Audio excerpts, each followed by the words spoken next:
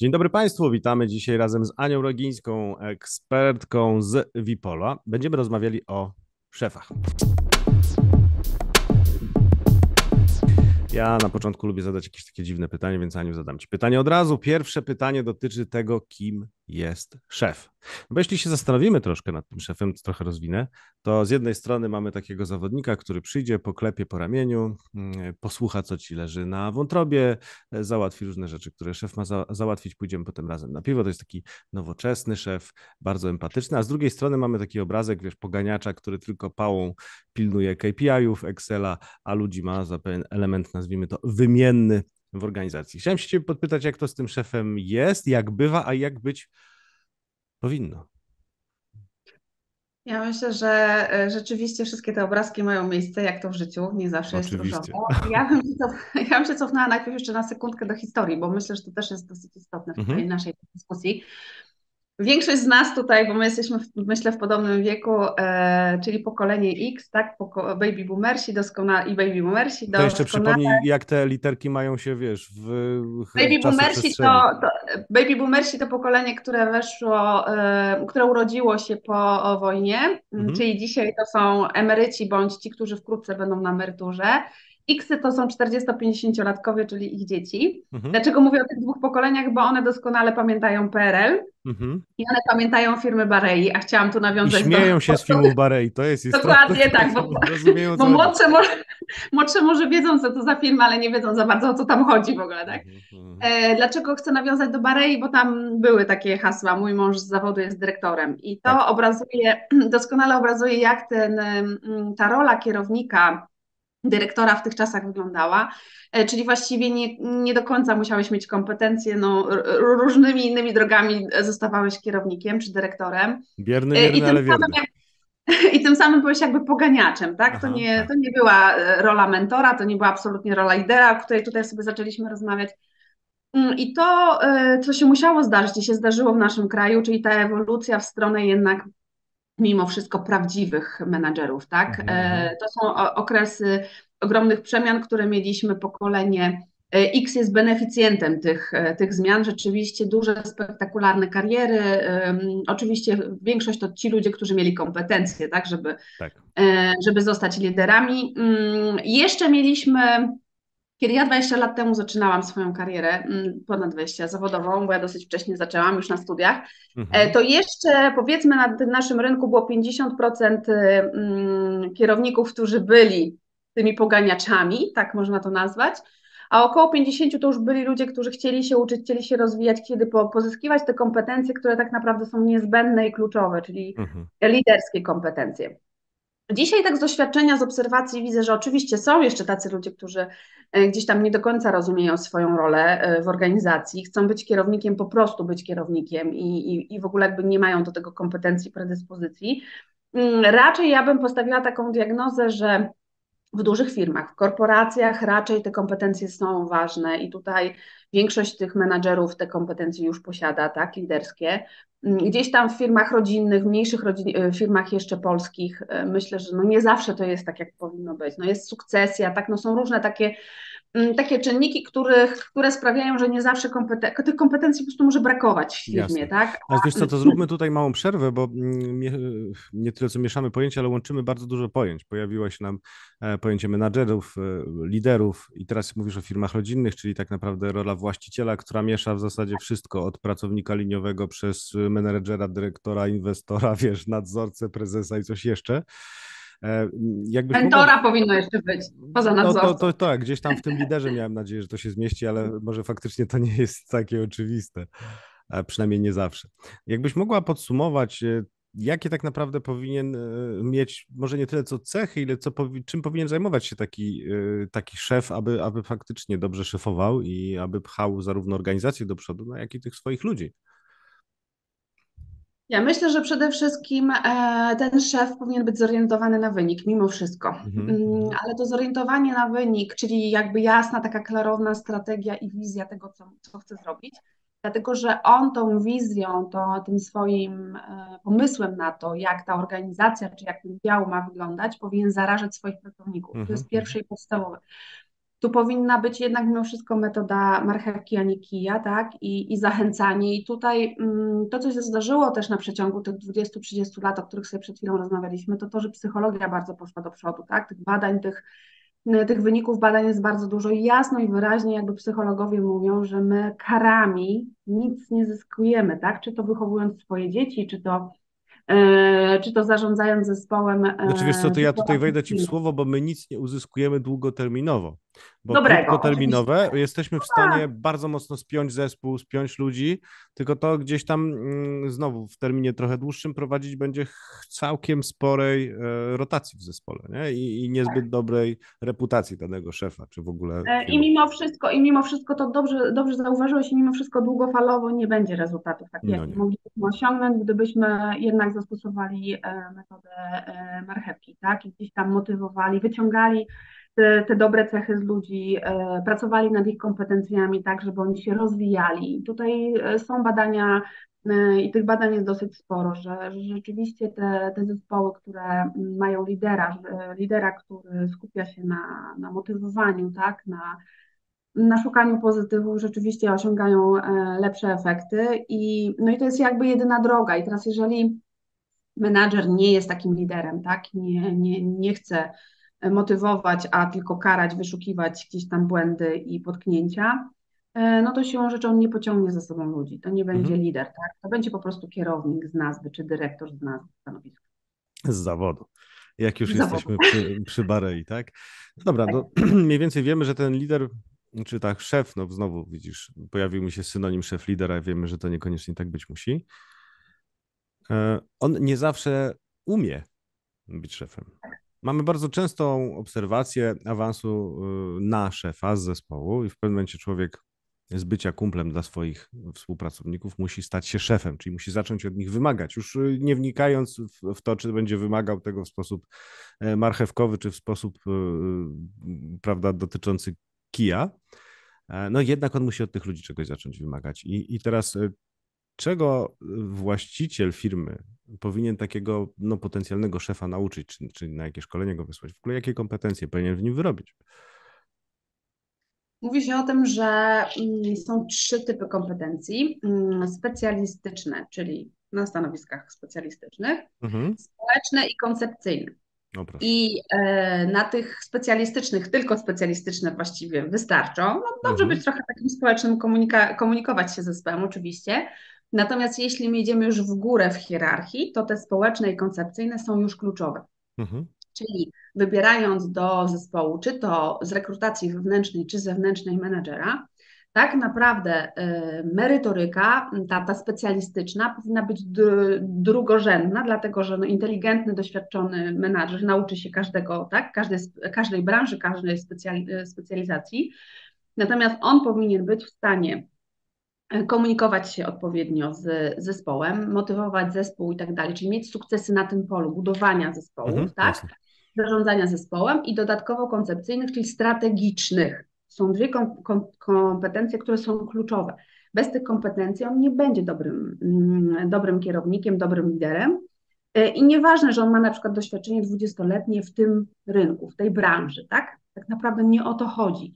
Przychodzą często ludzie z innych branż, tak? I sobie świetnie radzą, mają duże doświadczenie, dlatego że oni przychodzą ze świeżością, nie są z, gdzieś tam za, zaszufladkowani w tej branży i nie myślą tak, mm, tak schematycznie jak inni, którzy już w tej branży są ileś lat. Wchodzą ze świeżością do zespołu, uczą się od zespołu tych e, specjalistycznych informacji, tak, e, uwarunkowań, a on, oni z kolei dają te dobre jakby e, praktyki z rynku, z innych branż, jeśli chodzi o, o tą resztę tematów. Mhm. I to jest kluczowe. Więc jeśli oczywiście jest, wiesz co, ja tutaj chciałbym, Chciałbym, żeby mhm. to mocno wybrzmiało, bo powiedziałaś między słowami rzecz, która jest e, według mnie szalenie istotna, mianowicie to, że ten szef wcale nie musi być hiperekspertem e, w działalności operacyjnej, e, bo właśnie od tego szef ma zespół i nie o to chodzi, żeby szef wykonywał pracę operacyjną za zespół, bo on po prostu nie jest od tego. A jeśli Dokładnie. na dodatek nie jest ekspertem, to fizycznie tej roboty za zespół wykonać nie może, co paradoksalnie tylko może mm, pomóc w wykonywaniu roboty szefowej. Dokładnie. Dokładnie, bo on nie będzie zajmował się z operacyjną, bo nie będzie się na niej znał. Tak jest. E, więc oczywiście kończąc jakby wątek, e, to jest tak, że my nie nauczymy się tego w jeden dzień, mhm. czytając jedną książkę czy, czy idąc, e, idąc na szkolenie. To są lata jakby doświadczeń, żeby gdzieś tam być ekspertem w tych, w tych obszarach, natomiast też trzeba mieć predyspozycję. E, e, nie chcę tutaj powiedzieć, że introwertyk nie może być świetnym liderem, natomiast na pewno będzie mu trudniej niż ekstrawertykowi, tak? Czyli ta komunikacja, ta, ta umiejętność, umiejętność, kompetencja mm, jakby komunikacyjna jest dosyć kluczowa, jeżeli się jest e, kierownikiem, dlatego że mm, myślę, że większość problemów w ogóle świata wynika z braku prawidłowej komunikacji, tak? Więc jeżeli my mamy kierownika, który gdzieś tam jest e, otwarty, e, komunikacyjny, do którego możesz przyjść z każdym problemem, to, to ci pracownicy też się czują bezpiecznie. Pamiętajmy, że my mamy piramidę Maslowa, tak? Na początku, na samym dole tej piramidy są, jest to bezpieczeństwo takie podstawowe, mhm. bytowe, jedzenie, tak? Jakby bezpieczeństwo życia i tak dalej. Więc jeśli my jako pracownicy nie czujemy się bezpiecznie w organizacji, tak nie wiem, cały czas mamy w tyle głowy, ktoś nas może zwolnić, ktoś szuka tutaj błędów, szuka na nas kwitów, jak to się mówi, tak, tak wyrzuci nas. No my nigdy nie będziemy kreatywni, nie wejdziemy wyżej w tej, w, tej piramidzie Maslowa. I tym samym jakby yy, ta efektywność zespołu czy efektywność jednostki jest słabsza, więc jakby yy, lider będąc takim otwartym, tak, komunikatywnym, E, człowiekiem jakby zapewnia ten, ten dół, te pierwsze poziomy e, piramidy i pracownik ma, ma szansę na to, żeby się rozwinąć. W stresie nigdy nie będziemy kreatywni. To jest udowodnione to, to mówisz, że takie motywowanie, działa. zrób tę robotę dobrze, bo cię wywalę z roboty, nie jest idealne. No raczej. Nie, okej, okay, to widzisz, muszę, Ale jeszcze muszę zanotować. Nawet, no właśnie, chciałam jeszcze zwrócić uwagę na jedną rzecz, bo to jest też dosyć istotne, że dzisiaj na rynku pracy mamy cztery pokolenia. Mhm. To jest dosyć ciekawy moment, e, moment w historii. Mamy tych baby boomersów, którzy już tak, że tak powiem, jest ich mniej. Mamy te Xy, mamy jeszcze Y, czyli 30, 20-30-latkowie, tak? Bliżej 30 mhm. powiedzmy. I mamy już Zetki, które wchodzą na rynek. Tak. I chciałam jasno i wyraźnie powiedzieć, że te młodsze pokolenia, ja myślę, że będzie rewolucja generalnie na rynku pracy w związku z ich, że tak powiem, bytnością tam dlatego że oni jasno i, jasno i wyraźnie komunikują, że oni właśnie oczekują od liderów to, że to będą uczciwe osoby, to, że to będą empatyczne osoby, że gdzieś tam będą myślały też o, o tych pracownikach jako o ludziach, a nie tylko robotach do wykonania pracy, tak? E, więc zdecydowanie jakby nawet jeśli lider nie chce być takim liderem, to ci pracownicy po prostu na nim to wymuszą, tak? Mhm. To są pracownicy, którzy jakby nie mają z tym problemu, żeby powiedzieć nie podoba mi się, rezygnuję, nie będę tu pracował, bo dla mnie moje życie prywatne jest tak samo ważne, jeśli nie ważniejsze niż praca. E, to, o czym sobie tu rozmawialiśmy, o tej historii, to też jest kluczowe, bo baby boomersi i Xy mimo wszystko są dużo bardziej lojalni wobec pracodawców. Dlaczego? Bo myśmy w swojej młodości e, przeżyli niedogodności, puste półki, baby boomersi nawet głód, także jeszcze jakby dalej idąc taką, taką niedogodność. Dlatego jest w baby boomersach jest bardzo duża lojalność do pracodawców. To są te osoby, które po 30-40 lat w jednym miejscu pracują, tak? I nie przychodzi im do głowy, żeby zmieniać pracę, tak? Nawet jeśli mu do końca nie podoba się, tak? Xy są troszkę już mniej lojalne, ale jednak mimo wszystko my, jako to, to pokolenie X, e, rozumiemy, że na pewne rzeczy trzeba poczekać. Na dżinsy się zbierało pieniądze, tak? Mm -hmm. Czasem się nie jechało na wakacje, rodzice musieli odkładać pieniądze na wakacje.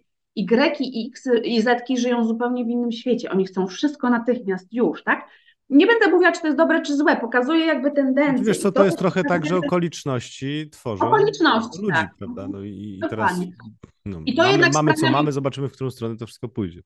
Tak, ale oczywiście i to wracamy do tej piramidy Maslowa. Oni po prostu mają te, te, te mm, pierwsze poziomy e, piramidy zapewnione, zapewnione. przez swoich rodziców tak i oni nie muszą w ogóle się zastanawiać nad tym, że, że trzeba, że może nie będzie na chleb i tak dalej. Siłą rzeczy oni chcą się rozwijać, te, te już wyższe tematy sobie ogarniać. Więc ten lider będzie musiał się dostosować jednak mimo wszystko, dlatego że pamiętajmy, GUS E, GUS prognozował, ja nie mówię teraz już o uchodźcach, bo uchodźcy nam też zaburzyli jakby ilości mhm. osób na rynku, ale że już po 2030 e, roku Y będzie najwięcej na rynku pracy, to będzie mhm. około 3 czwartych rynku pracy. No to to jest masa i siła, czyli ich przekonania, ich oczekiwania no, będą miały znaczenie, no bo ty jako pracodawca potrzebujesz pracownika, tak? Więc musisz się jakoś też dostosować do tego, czego on oczekuje od ciebie, tak? Tak jest, tak jest. Wrócę jeszcze na chwilkę do uchodźców, bo o tym Aniu rozmawialiśmy parę miesięcy temu. Tu gdzieś e, wrzucę link, wrzucę link do naszej rozmowy, bo to też było dość ciekawe. E, natomiast jeszcze taka jedna myśl mi przyszła, że ten lider czy menadżer, który zostanie właśnie menadżerem, on też powinien się uczyć i on też powinien mieć swojego mentora, osobę bardziej doświadczoną i rzeczywiście umiejącą w te rzeczy, których on nie umie. Oczywiście. E, to jest też tak, to jest właśnie znowu wracając do historii, że 20 mm, czy 30 lat temu wystarczyło skończyć studia mhm. i właściwie koniec, tak? I tak pracowałeś tak i nikt niczego od ciebie nie wymagał. No dzisiaj jakby oczekiwaniem i jakby taką normalnością też dla myślę tych ludzi, którzy zajmują szczególnie stanowiska kierownicze, są liderami, jest to, że trzeba się uczyć. Każdego dnia się jakby uczysz robisz studia podyplomowe, uczysz się języków, chodzisz na kursy y, y, gdzieś tam w klubach, jeżeli jesteś jakby mm, tutaj w sprzedaży, marketingu, w tych takich e, operacyjnych bardzo działach, to też jest uczestniczysz w spotkaniach networkingowych, w klubach biznesowych i tak dalej, tak. To wszystko gdzieś tam każdego dnia sprawia, że no jak chcesz oczywiście, to jesteś w stanie się uczyć. Jest no w tej chwili to, co jest jakby super i świetne, uważam, szczególnie w internecie, to to, że masz na wyciągnięcie ręki wszystko, czego potrzebujesz, tak? Takie tak, na przykład. No ale mamy też efekty boczne. jak twoje, tak? Czy coachów, no dużo, dużo tematów masz jakby bez skupowania, bez konieczności jakby też wydawania e, dużych pieniędzy, e, możesz się uczyć, tak? Jest możesz, możesz, tylko właśnie tutaj szkoły, muszę Ci tak? powiedzieć, że jest jeden e, bardzo silny efekt uboczny, wydaje mi się niekorzystny, a mianowicie to, że teraz każdy y, mianuje się specjalistą w tak, jakiejś tak. dziedzinie po, tak jak powiedziałaś ileś minut temu, po przeczytaniu jednej książki i to jest troszkę mało. A z kolei przebranie w gąszczu tych wszystkich pseudospecjalistów i wybraniu tego, którego aktualnie potrzebujemy po prostu do roboty najzwyczajniej w świecie, nie jest takie proste. Oczywiście, oczywiście i to, no internet to, to są też fake newsy i tak dalej, zawsze mhm. warto wiedzieć jednak mimo wszystko, które źródła są takie jakby wiarygodne, tak, gdzieś tam uwiarygodniać sobie tych ekspertów, no ale są takie duże nazwiska, tak, które spokojnie możemy tutaj, na których się możemy opierać, bazować i one gdzieś tam, to też jest to, to o czym oni mówią, że my nie mamy, mamy za krótkie życie, żeby przeczytać wszystkie książki i wszystkiego się douczyć. No, to mhm. jest taka droga na skróty. Idziesz do tego eksperta, słuchasz, co on mówi i masz już takie zebrane, wiesz, z iluś tam książek. Tak, tak, masz coś przefiltrowane. Odeszliśmy tak, trochę na bok, słuchaj, od, od naszego szefa, bo ja chciałem Cię jeszcze jedną rzecz spytać, bo już troszkę zahaczyliśmy o te pokolenia, ale przelecieliśmy jeden temat, który był dla mnie istotny, o który chciałem Cię podpytać, bo mówiliśmy sobie o tym awansie wewnętrznym, o, o no właśnie, mamy awans wewnętrzny. Powiedz mi, jak no, szefować tym ludziom, którym jeszcze wczoraj byliśmy, wiesz, kumplem tak naprawdę biurko w biurko, a teraz powinniśmy od nich wymagać. To jest trudny temat. To jest e, podobny temat do, mm, do tematu e, właściciel, rozrasta mu się firma, firma rodzinna powinna przejść na wyższy poziom, on tak nie jest. może już zarządzać, wszystkiego robić, no bo nie ma na to czasu i właściwie to nie o to chodzi. No i kompetencji, nie? No bo w tym, w tym momencie tak, intuicyjne działanie przestaje być skuteczne. Dokładnie. E, no to jest najtrudniejsze jest tak naprawdę, myślę, poukładanie sobie tego w głowie, bo to mhm. przechodzi każdy. Ja też y, awansując y, kilka lat temu ze specjalisty na kierownika, mm, jakby rozum, ja przynajmniej rozumiałam, że to się wiąże z trochę czymś innym, bo też dużo ludzi po prostu tego nie rozumie, jest zaskoczony, że teraz mhm. od niego się wymaga jakiegoś tam myślenia strategicznego, planowania, pilnowania zespołu z konkretnymi mm, rzeczami. Natomiast mimo wszystko było mi trudno nie pracować za za zespół jakby e, i, i skupić się na innych rzeczach, czyli mhm. najpierw musimy uświadomić, czy to sobie sami, jako ci nowi kierownicy, świeci kierownicy, no najlepiej, żeby mieć świetnego przełożonego, który ci to wszystko wytłumaczy, Jasne. wyszkoli cię. mentora, będzie, prawda, o którym rozmawiamy. Będzie mentorem, dokładnie. E, no to jest naj, najlepszy wariant. To, co ja na przykład e, w dużej korporacji jakby zostałam kierownikiem, I to, co było świetne, że tam na każdym poziomie e, były szkolenia, czyli jeżeli oni e, mnie awansowali na kierownika, od razu z założenia wiedzieli, że ja potrzebuję konkretnych, do konkretnych kompetencji, konkretnych szkoleń, więc ja przyszłam taki cykl szkoleń do, dla kierownika, gdzie było wszystko, tak? Od zarządzania zespołem, zarządzania czasem, instruktarzem na nowym mhm. stanowisku, czyli jak mam wdrażać ja zespół i tak dalej, i tak dalej. E, I to było, znaczy ja byłam pod wrażeniem w ogóle, tak, że Mhm. ktoś gdzieś tam przemyślał sprawę. Jakiś pomyślał, kierownik usiadł i jakiś, wymyślił. kierownik, jakiś mentor. Więc to było świetne i rzeczywiście to mi dużo dało, uzmysłowiło mi dużo rzeczy, e, że to nie jest tak, że ty powiesz pracownikowi, dobrze, to teraz rób to tak, bo to nie znaczy, to że on będzie to tak robił, tak? Mhm. bo on niekoniecznie wie, co ty do niego mówisz, tak? No. Można tego nie rozumieć, tak? Mm, e, Więc myślę, że przede wszystkim to jest to uświadomienie, że dzisiaj oczekiwania są inne. Właściwie, jeśli my awansujemy wewnętrznie kogoś, to my w ogóle od razu powinniśmy przed awansowaniem e, e, zdiagnozować, czy na pewno ta osoba jest w stanie tak, Mhm, to, mhm. to robić. E, porozmawiać z tą osobą jakby i też jej gdzieś tam to, to pokazać, tak, że to dzisiaj będzie inaczej. No a później to jest na pewno masa szkoleń, które trzeba zrobić, czy to profesjonalnych, tak, czy to właśnie mentor, który wskaże tak, e, wskaże drogę, pokaże na co zwracać uwagę. Mm, No i przede wszystkim e, ta osoba no, musi też mieć takie predyspozycje, asertywność, Mm, Tak, to nie żeby taką silną dosyć osobowość mimo wszystko, żeby później umieć sobie zbudować e, ro, e, tą rolę lidera, bo to nie jest proste, rzeczywiście, tak? Najpierw piliśmy piwo z kolegą koło biurka albo zwierzaliśmy mu się, jak to mój mąż jest taki niedobry i w ogóle, a, Tak a teraz jestem przełożonym i ja tutaj muszę ci powiedzieć, że ty źle pracujesz, tak? Tak, tak, albo żeby, bo, bo potem się pojawią teksty, wiesz, no słuchaj, przygotuj mi to, na co się umawialiśmy, a on za chwilę ci odpowie, no Anka, Anka nie rób sobie jaj, no przecież co ty chcesz? Dokładnie, dokładnie. No jest to trudne, jest to na pewno trudne, ale e, jest wiele, wiele z, z mojego doświadczenia przypadków, że da się to zrobić. e, Dlatego ja jestem w ogóle zwolennikiem nieprzyjaźnienia się jakiegoś ogromnego w pracy. To znaczy, no ja Mhm. raczej jestem towarzyską osobą, raczej myślę, że lubianą. Natomiast jest taka granica, której my nie powinniśmy w pracy mimo wszystko mm, przekraczać, tak? Przyjaciół e, i rodzinę ma się jakby poza biurem. Tutaj powinno być miło, bo jesteśmy tu długo, tak? Mhm, 8 jasne. dziennie minimum. Natomiast są granice, których nie powinniśmy przekraczać i wtedy, kiedy my jesteśmy w nowej roli, to jest też troszkę prościej, tak? Bo mimo wszystko jakaś tam doza dystansu e, była i nie ma tego właśnie e, potem przekraczania granic, tego Ania tam daj sobie spokój, bo ja tego nie zrobię, tak? Tak jest. Więc wszystko jakby zależy też od ludzi, tak? Pamiętajmy, że jeżeli chcemy kogoś awansować, to to, że on był świetnym specjalistą, nie oznacza zupełnie, że będzie świetnym kierownikiem. Tak, to, to jest temat, To który jest bardzo kluczowe. często pojawia się, prawda, w firmach. Awansujemy specjalistę i oczekujemy, że on będzie świetnym, e, świetnym szefem. I teraz okazuje się, że tracimy i specjalistę i nie mamy szefa. Dokładnie. A y, to co, to, co jest też niestety smutne i to się zdarza, że nie ma już powrotu, tak? Po Mhm. pierwsze, to też tak mentalnie słabo. Byłem kierownikiem co, zdegraduję się z powrotem na specjalistę. E, A poza tym zwykle na tym specjaliście już ktoś inny jest, no i co, nie będziemy go wyrzucać, bo ty nie chcesz być już dalej kierownikiem, tak? Więc no to jest, Tak jest. Trudna sytuacja. Przykro jest, jeśli ta, ta relacja i ten pracownik był świetnym pracownikiem i mógłby dalej w organizacji pracować, a my po prostu z tego powodu, że on się, on sobie nie poradził na, na tym stanowisku, po prostu musimy się z nim rozstać, tak? To są przykre, przykre sytuacje i, i takie niesprawiedliwe też dla tego człowieka, tak? Mhm, Który gdzieś mhm. chciał się No tak, rozwijać, to, ale to, do to już jest e, poradził. nieodpowiedniego podejścia do całego procesu awansu.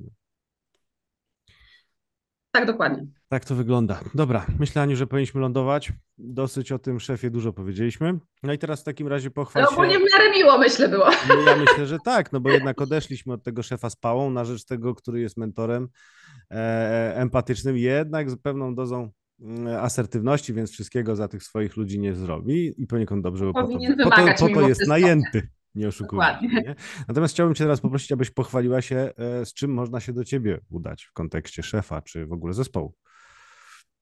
Generalnie grupa Wipol e, jest e, specjalistą w znajdowaniu pracy w Polsce, w firmach polskich dla obcokrajowców, pracy fizycznej i specjalistów, ale fizycznych.